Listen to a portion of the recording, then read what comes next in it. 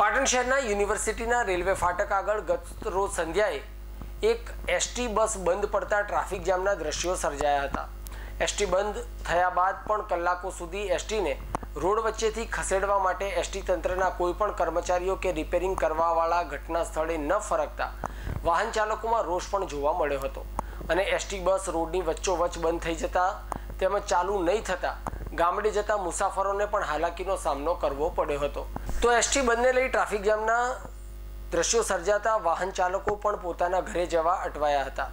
એક બાજુ ધીમી ધારે વરસાદ ચાલુ હોવાથી વાહન ચાલકોને ટ્રાફિકમાં ફસાવાની ફરજ પડતા ખૂબ જ હાલાકી ભોગવવી પડી હતી.